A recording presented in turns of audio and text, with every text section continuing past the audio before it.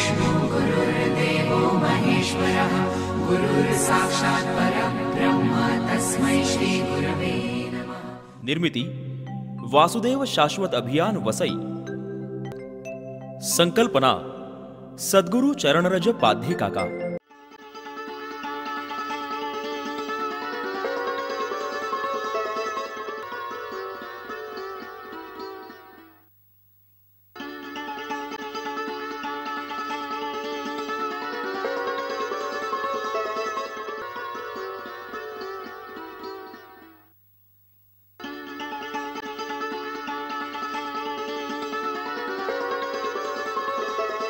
नर्मदे हर।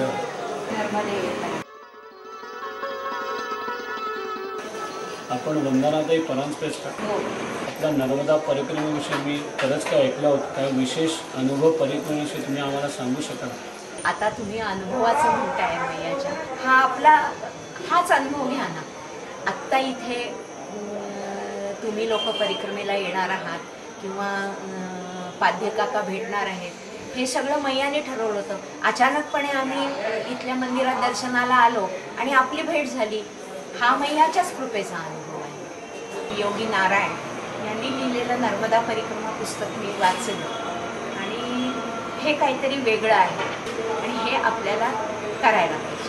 दोन हजार अकरा सालच्या अकरा नोव्हेंबरला आम्ही पहिली परिक्रमा केली. आणि मग माहिती नाही मैया आणि मी हे आमच्यामध्ये वेगळंच नातं निर्माण झालं आहे तुम्ही आई मुलीचं म्हणा बहिणींचं म्हणा माहीत नाही. पण मैया म्हणजे माझं सर्वस्व.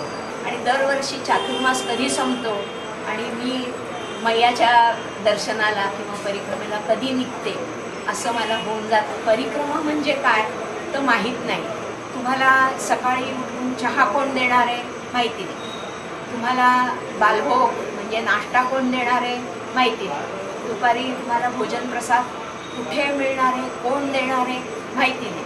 रात्री तुम्ही कुठे राहणार आहात? हेही तुम्हाला माहिती नाही.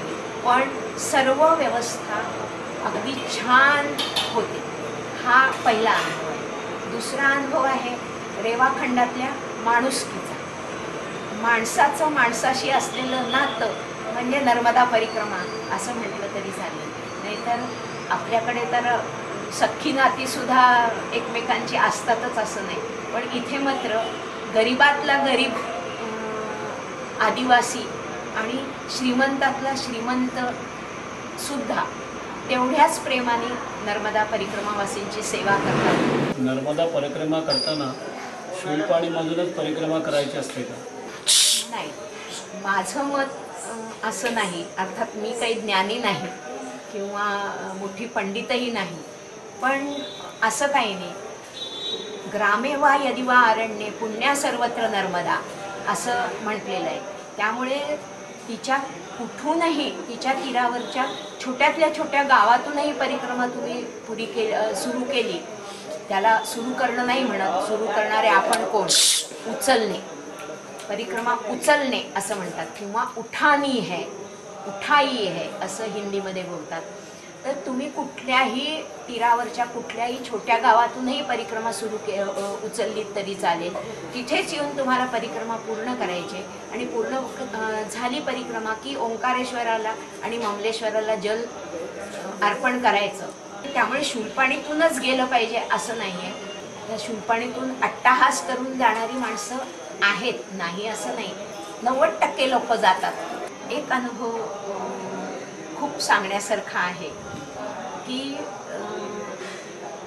खूप संध्याकाळ झाली होती आणि आम्ही एका ठिकाणी गेलो होतो. तिथे आम्ही खरं झा शाळेत राहायला मिळत आहे का म्हणून गेलो होतो. पण शाळेचे शिक्षक कुलूप लावून निघून गेले होते. शाळेचा वर्ग उघडणं शक्य नव्हतं. तर तिथली एक आदिवासी बाई म्हणाली तुम्हाला माझ्या घरी माझ्या झोपडीत राहायला आवडेल का? म्हटलं हो का नाही? झोपडी थोडी आहे तो महाल आहे तुमचा मग आम्हाला तिने त्या तिच्या झोपडीमध्ये नेलं. छोटीशीच झोपडी होती. एका कोपऱ्यामध्ये तिचं चूल वगैरे छोटंसं स्वयंपाकघर होतं.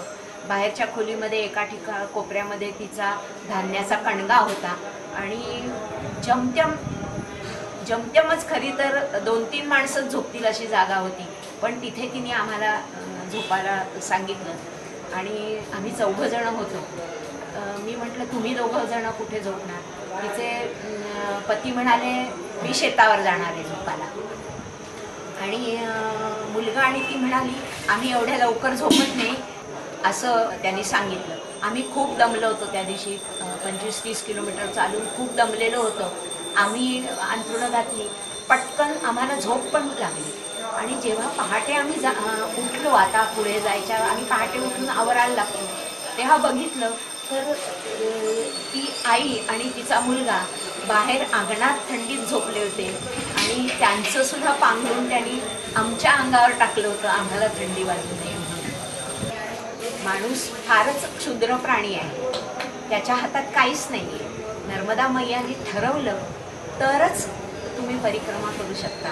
तूच माझे भाऊ तूच माझी आई तूच माझी अक्का तूच माझी ताई तूच माझा दादा तूच माझ्या बहिणी तूच माझी मैया तूच माझी मैया तूच माझी नर्मदे.